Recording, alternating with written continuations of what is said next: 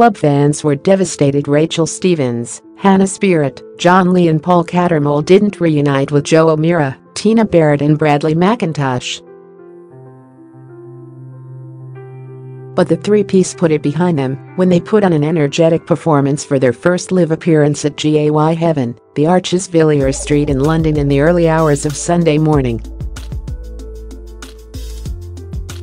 Leggy Jo, 38, put on an incredibly fashionable show as she flaunted her slender limbs in thigh-skimming denim shorts and fishnet tights on stage.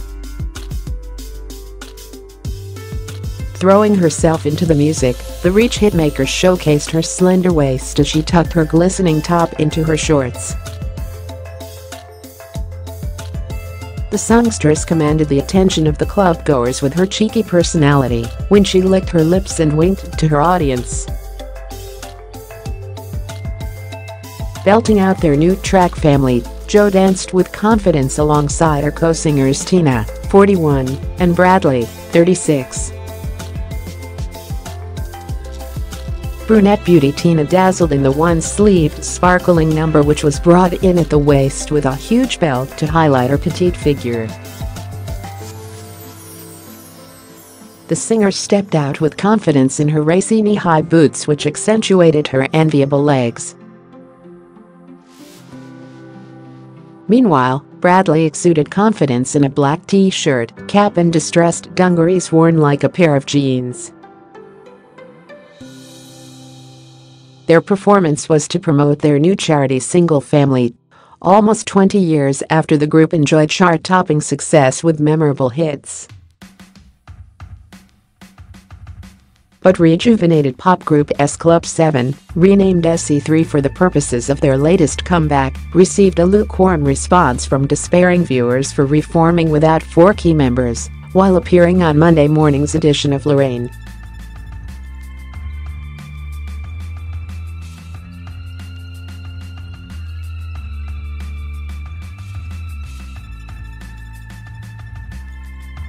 However despite the single being released for a good cause disappointed fans lamented the absence of Rachel, Hannah, Jon, and Paul.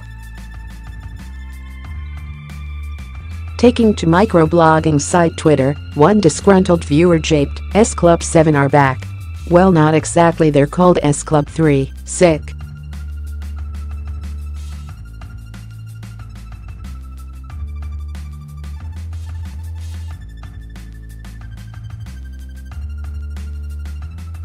Referring to Jo's powerful vocals, a third added, so it's just Jo and two backing singers then. Another fan uncharitably wrote, S Club 3, the reunion we've all been waiting for.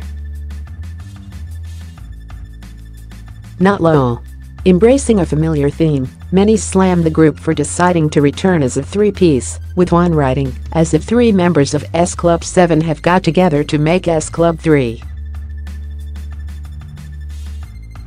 Bring them all back, or none at all. In clear agreement, another added, S Club 3 doesn't quite have the same ring to it, does it? While another wrote, lol S Club 3 on number Lorraine. This is .sad. However there was individual praise for youthful Tina, with one fan raving, watching S Club 3 on added Lorraine Tina is 41. WTH. No way. Number looking amazing.